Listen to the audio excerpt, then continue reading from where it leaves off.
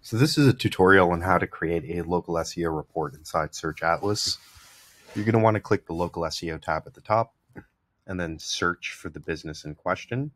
You can also adjust the search area. With this drop down, you can do localization. So you can set this to New York, New York City, Queens County, etc. so we're going to set this to New York and we're going to look up a business therapy group of NYC. Please note that it can take a little bit of time to finish that initial search. Um, so don't click out until the listing is loaded. You're then going to find your business. You're going to click it, hit create local project.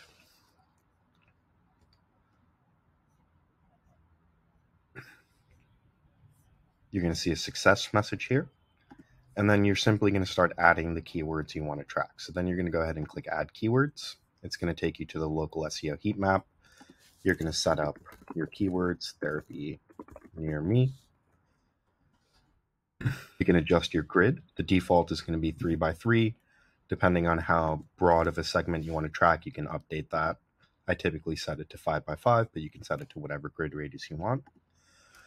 and then you're going to set a proximity of how far away from the center location you want the report to, to fetch, right? So I'm going to set this to two miles.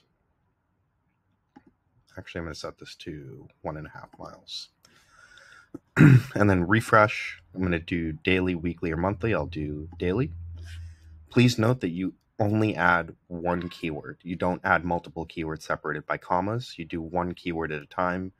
You run the local scan, you add another keyword, run another scan, right? So NYC therapist, therapy,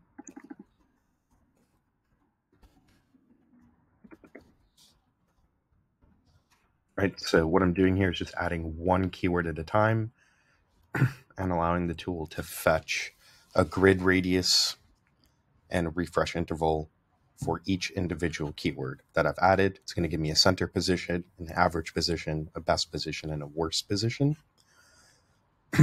and you can see it took just a couple seconds to kind of fetch that. And now you can click into each one. So if we click therapy near me or any of the other ones, we hit view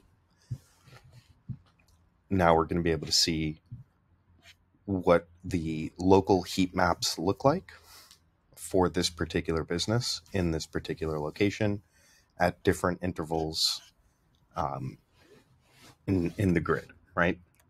And when you click into each one, it's going to adjust the listings here on the left-hand side. And that's how you create a local heat map. Uh, based off your refresh interval at the top level here, you're going to get date tracks, right? So this is October 8th. It'll fetch again October 9th. It'll fetch again October 10th, so on and so forth.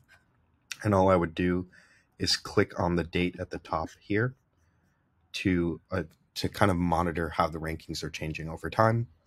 You can share this report as a publicly shareable URL, or you can simply export it to a PDF and share it with your client as well.